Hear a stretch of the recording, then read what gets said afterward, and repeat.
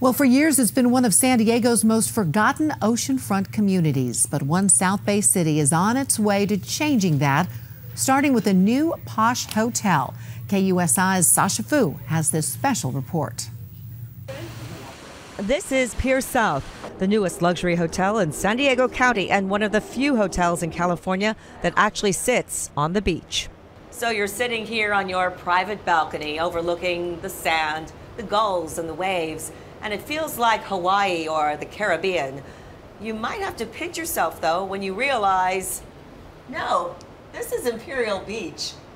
Yes, that Imperial Beach, the sleepy beach town best known for surf, sandcastles, and a loose, unpretentious vibe.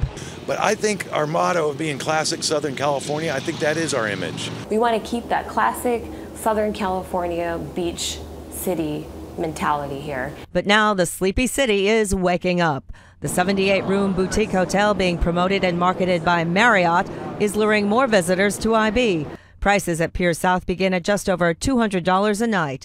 There's a pool that opens out to the sand, spa services with massage, and a beachfront restaurant called C180, named for the view. It's run by the Cohn Restaurant Group. I think you'll see more revitalization happening over the next five years. Sales and marketing director Karen Martin says the hotel is giving IB an image boost. And people are kind of intrigued. People are intrigued on what's going on in Imperial Beach.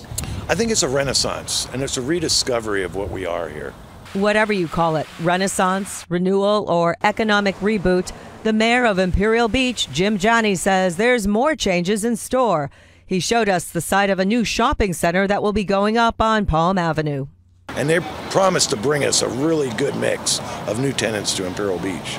A local developer, the Sudberry Group, sees potential here, and Mayor Janney thinks more investment will follow. And I think that that's what we're feeling right now. A lot more people interested and what they could do for Imperial Beach, and that's what we're looking for.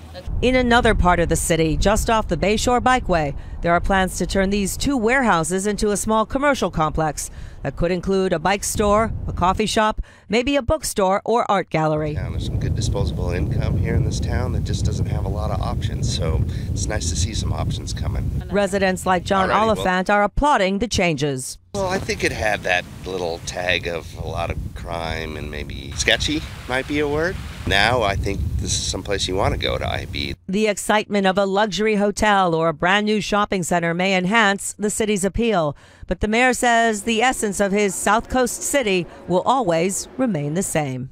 We're not aspiring to be anything but Imperial Beach. We like Imperial Beach. There are some inherent limitations on how much Imperial Beach can grow. The mayor says, with the exception of Palm Avenue and Seacoast Drive, most of the city is zoned residential. As for the city's newest hotel, business there seems to be brisk. Weekends at the hotel are selling out. In the newsroom, Sasha Foo, KUSI News.